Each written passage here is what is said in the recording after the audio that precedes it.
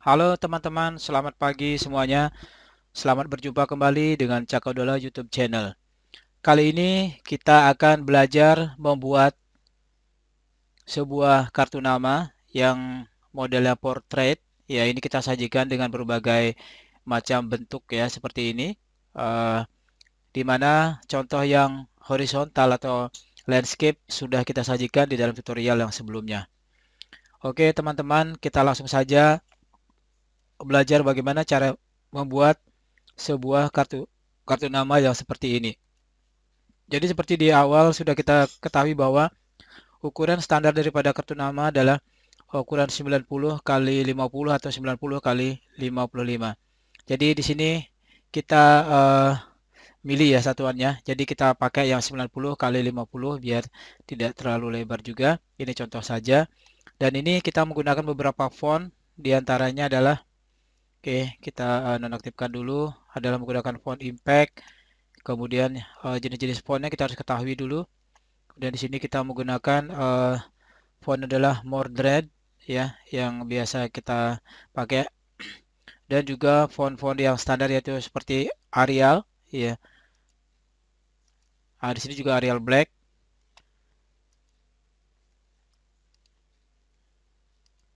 Oke, kita ini dulu kita matikan dulu ini groupingnya ya. Oke, teman-teman. Nah, pertama kita harus membuat sebuah uh, desain. Nah, ini uh, kebetulan nampak juga yang contoh yang horizontal kemarin. Ya, saya tempatkan di sini saja. Ya, desain yang uh, contoh yang horizontal ya. Oke, ini ada desain yang vertikal. Sekarang kita mau mencoba menggambar seperti ini ya. Jadi pertama-tama teman-teman kita harus membuat uh, objek rectangle tool ya F6. Nah, seperti ini. Nah, ukurannya langsung kita setting di sini ya 50 lebarnya kemudian tingginya adalah 90. Oke, sudah jadi ya teman-teman. Ya. Nah, seperti ini contohnya. Nah, kemudian di sini kita perlu misalkan menggunakan warna dasar ya. Kita misalkan menggunakan seperti ini, tinggal pilih di sini di uh, color palette-nya. Nah, udah jadi seperti ini. Oke. Nah, kita zoom sedikit. Oke. Nah, sekarang kita mau menggambar apa? Menggambar kotak lagi ya. Kotak lagi misalkan ukuran seperti ini. Ya, kita gambar lagi di tengahnya seperti ini. Ya, ini kita bikin kurang lebih sama ya. Kemudian kita bisa kalau untuk mengambil warnanya, kita bisa pakai uh, objek properties ya atau dari sini atau dari sini bisa kemudian kita ambil yang seperti ini ya objek propertiesnya oke.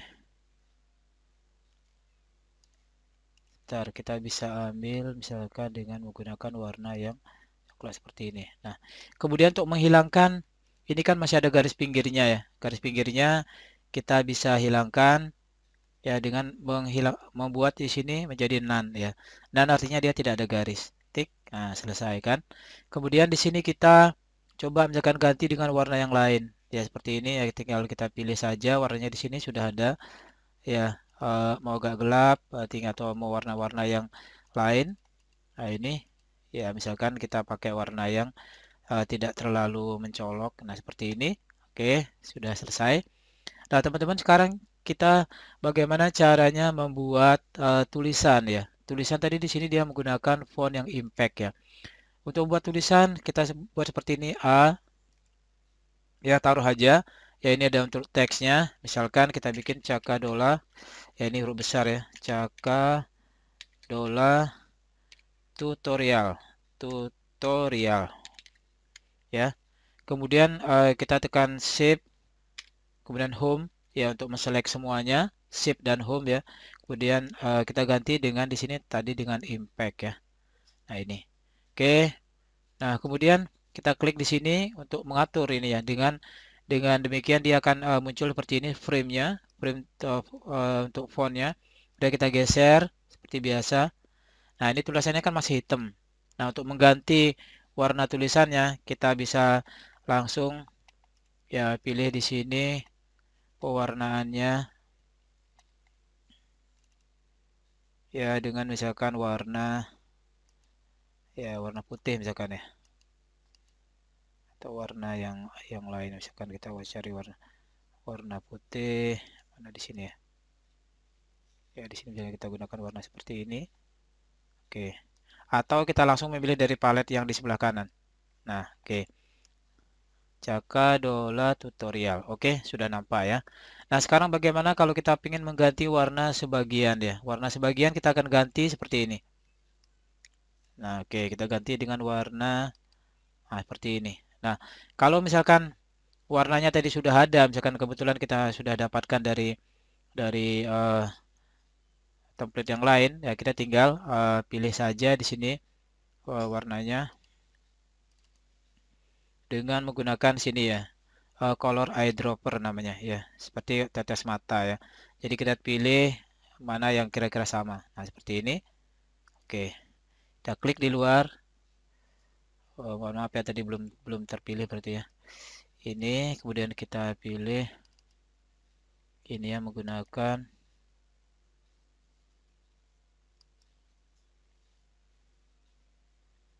belum terpilih. Oh, menggunakan warna yang misalkan seperti ini aja ya. Kayak tadi masih ke blok tulisannya. Oke. Jadi uh, seperti itu. Kita coba lagi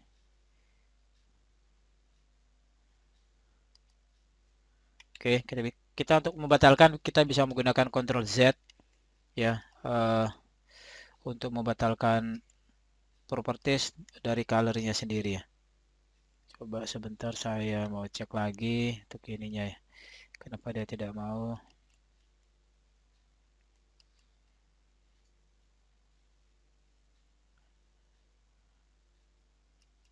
Oke, seperti itu. Sudah terpilih. Oke, sudah dapat ya. Oke, tadi uh, ada beberapa ini karena mungkin ke blok tulisan jadi dia tidak bisa diklik. Nah, sekarang untuk membuat tulisannya agak kecil, nah seperti ini, ya kita tinggal atur saja, tinggal tarik ke atas, nah, seperti ini. Ya, mau agak ramping, tinggal taruh ke dalam. Nah, seperti ini. Siapa tadi? Impact nah, 11,636. Oke. Impact ya, oke. Sudah seperti itu. Oke.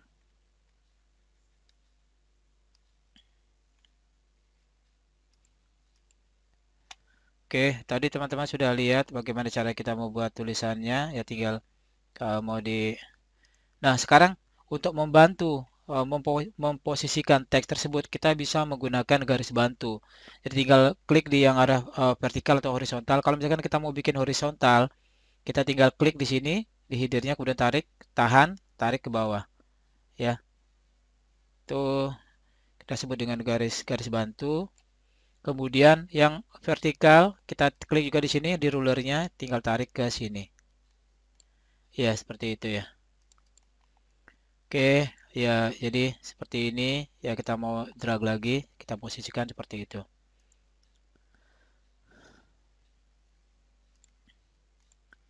Oke, ya teman-teman sudah lihat tadi. Kalau misalkan mau diganti dengan yang lain, uh, misalkan seperti ini, bisa juga. Oke. Nah, kemudian di sini uh, YouTube channel juga sama ya. Kita menggunakan teks seperti ini bawahnya. Kemudian you ketik saja YouTube channel. Ya. Jadi YouTube channel seperti itu. Kita adjust lagi posisinya. Ya. Sini tinggal ganti fontnya yang sesuaikan. Fontnya kita sesuaikan. Kemudian kita uh, pakai misalkan tadi seperti ini. Nah biar agak warnanya beda cerah sedikit YouTube channel. Oke. Okay. nah ini uh, tinggal diatur. Kemudian sekarang bagaimana caranya membuat tulisan yang uh, vertikal ya? Sekarang membuat tulisan yang vertikal. Oke okay, kita buat seperti ini. Jika di sini base tutorial. Kita bikin base tutorial ya base tutorial misalnya kita bikin bold ya kemudian di sini uh, kita bisa atur nanti untuk posisinya ya. Kita bisa membuatnya seperti ini ya. Rotate saja ya. Ya saya pelan-pelankan aja. Jadi pertama seperti ini klik kemudian uh, di sini tengah-tengah ini akan ada uh, semacam silang yang yang menandakan bahwa itu adalah titik senternya. Kemudian kita putar ya atau mungkin di sini bisa kita langsung kita bikin 90. Nah, seperti itu ya. Jadi di atas sudah ada contohnya adalah 90. Nah, seperti ini. Oke. Tinggal kita atur lagi, tarik ke bawah seperti ini. Ya, sesuaikan lagi. Nah, posisinya seperti ini. Nah, oke. Nah, ini kita kembalikan lagi ke 45 eh ke 0. Ya, untuk mengaturnya warnanya kita ganti dengan kita klik lagi di sini, best tutorial, kita ganti dengan warna putih misalkan ya. Oke, baru kita putar lagi dengan di sini mengatur ke 90. Oke. Dia sudah ada ya. Best tutorial, misalkan seperti itu ya. Warnanya bisa disesuaikan. Oke, nah kemudian sekarang bagaimana kita membuat eh, lengkung-lengkung uh, seperti ini ya. Nah, ini cukup uh, cukup menarik ya teman-teman ya bagaimana cara membuat eh, bentuk-bentuk uh, seperti ini. Nah, oke sekarang kita mau membuat garis yang uh, yang pudar dulu, kan seperti ini. Ya, ini kita misalkan bisa ganti dengan warna apa ya, seperti ini orange ya. Uh, kemudian kita hilangkan uh, garisnya. Nah, di sini kita ingin membuat gambar yang sedikit transparan ya.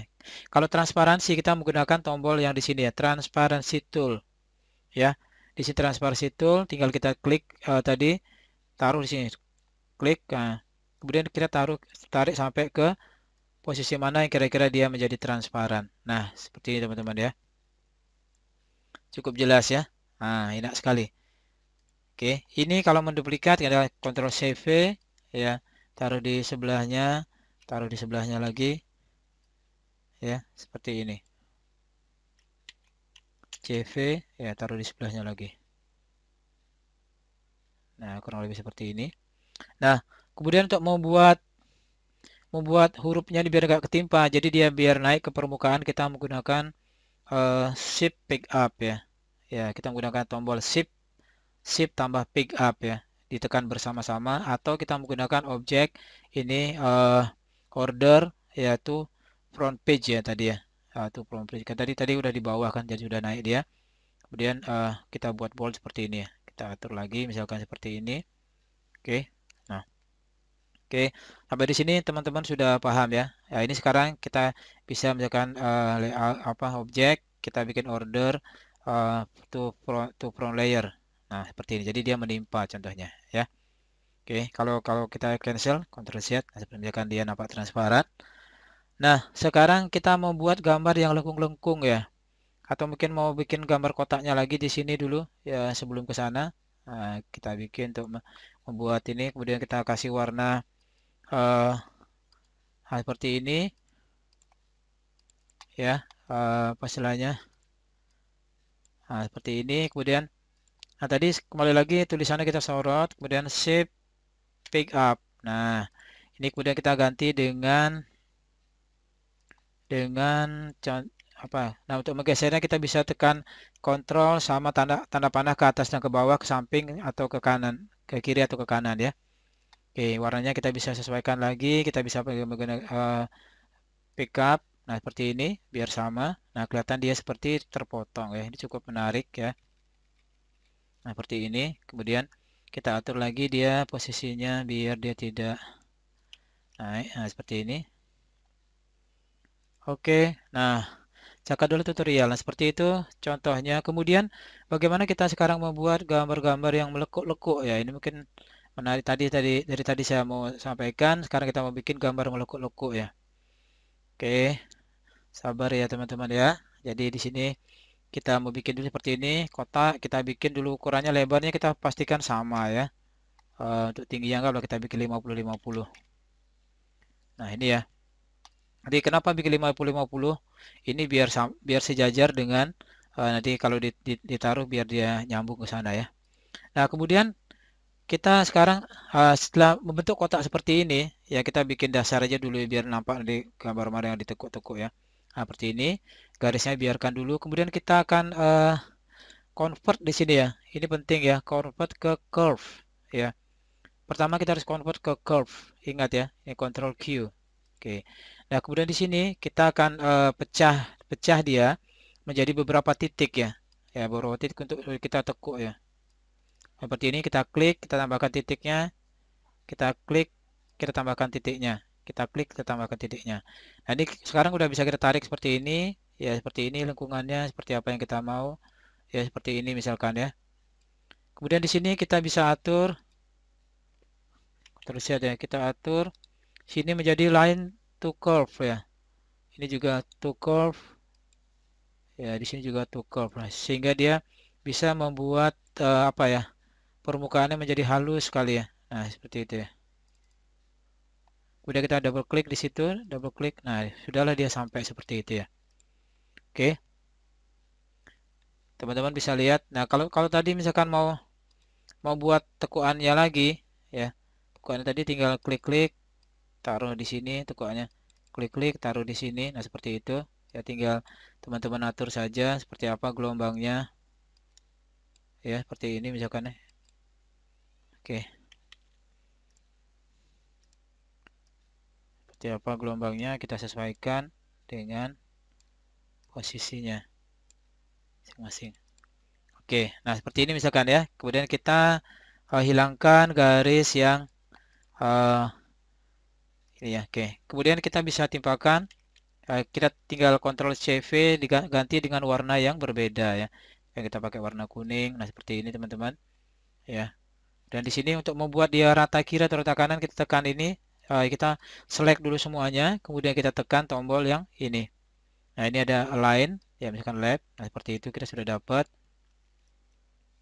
ya kita bisa adjust dengan tekan kontrol ya ke atas seperti ini ya kemudian kalau mau tambah lagi kontrol CV ya sama dengan uh, eh, MS Office ya uh, shortcutnya kemudian kita ganti dengan warna yang berbeda misalkan seperti ini ya kemudian klik lagi kita alignkan ke kiri atau ke kanan ya Oke, nah sekarang di sini kita bisa grouping dulu ya biar tidak menyebar ke mana-mana. Kita bisa grouping dengan menekan tombol group object. Oke, grup objek sudah seperti ini. Ya, kemudian kita taruh, diletakkan di uh, posisi yang sesuai ya. Nah, seperti ini. Oke, nah tadi teman-teman sudah tahu caranya bagaimana caranya dia membuat di front seperti ini tulisannya dengan shift pick up ya. Nah, oke, sekarang sudah nampak ini ya. Kemudian kita bisa aja seperti ini, atur sedikit sesuaikan dengan posisinya. Ya, ini kalau misalkan dia ini saya seperti ini. Nah, oke. Nah, teman-teman sudah, sudah lihat, sudah nampak garis lengkung-lengkungnya. Ya, ini misalkan nanti bisa ditaruh di bawah misalkan seperti ini. Control pick, shift pick up atau mungkin di delete saja. Nah, kurang lebih seperti ini bentuk-bentuknya. Nah, tinggal teman-teman tambahkan aja lagi uh, apa misalkan logo ya ini kalau logo saya tidak uh, jelaskan di sini. Misalkan kita misalkan menggunakan logo seperti ini ya biar tidak terlalu cepat uh, terlalu lama CV kita copy nah nanti untuk tutorial membuat logo nanti saya akan uh, sampaikan uh, sendiri dalam dalam ini yang berbeda ya dalam topik yang berbeda mendesain uh, logo seperti ini. Nah ini ini nah kurang lebih seperti ini dan sudah cukup nampak dia sudah jadi. Nah ini oke.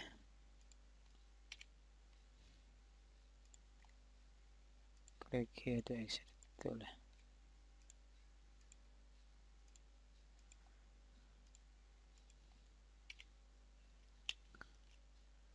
kenapa ada logo seperti ini ya? Tadi di mana? Sebelah mana dia oke tidak tidak apa-apa. Dia tidak tidak nampak. Oke. Jadi kurang lebih seperti ini teman-teman. Kalau mau buat uh, bentuk lengkung nah sekarang bagaimana cara misalkan membuat uh, garis yang seperti ini ya? Nah kalau membuat garis tadi sama juga ya. Uh, uh, garis seperti itu kita bikin seperti ini. Ukurannya adalah 50 ya 50 lebarnya kali 50 misalkan ya kali 50 Nah, kemudian eh, teman-teman uh, bisa atur seperti ini. Ya, kita klik kanan dulu, ubah ke convert ke curves, kemudian tarik titiknya di sini ya dengan dengan shape tool ya tarik seberapa misalkan di tengah misalkan in the in the mid nah seperti ini. Kemudian nanti teman-teman bikin warna ya. Nah seperti ini. Kemudian Ctrl CV ya bikin warna lagi Ctrl CV bikin warna lagi misalkan seperti itu ya. Jadi warnanya terserah teman-teman misalkan mau diganti warna ini dan warna yang uh, hijau misalkan seperti ini ya. Oke kita hilangkan ini jangan lupa hilangkan uh, garisnya. Nah sehingga seperti ini. Kemudian dia membuat line kiri kanannya. Kita menggunakan klik di sini. Ya oke. Sudah selesai teman-teman. Ya ini bisa tarik seperti ini. Kemiringannya tergantung. Kita blok saja ya untuk biar tidak berubah posisinya. Dan kita tempelkan di sini. Ya kita tempelkan di sini. Taruh di atasnya. Nah untuk membuat dia dia di atas ini uh, shift pick up ya nah seperti ini. Jadi teman-teman bisa melihat nanti posisinya terserah bagaimana. Cuma contoh aja ya. Eh, teman-teman uh, misalkan ya bisa bisa nanti penempatannya terserah teman-teman. Control uh, shift pick up. Nah ini misalkan ya. Atau misalkan tadi mau dibuat seperti ini misalkan ya ini tinggal diatur uh, uh, ya posisinya nah misalkan seperti ini ya misalkan ya tinggal di adjust lagi seberapa seberapa dia uh, ingin di, ditonjolkan ya di sana Nah, kira-kira uh, seperti ini teman-teman. Saya rasa cukup uh, cukup mudah dipahami ya teman-teman ya. Jadi kita bisa membuat sebuah kartu nama sendiri dengan Corel Draw ya dengan cara yang sangat uh, sederhana ya. Kalau uh, masalah seni-seninya lagi memang kita harus perlu latihan ya. Jadi perlu latihan, kita menggunakan beberapa contoh yang sudah ada. Ya ini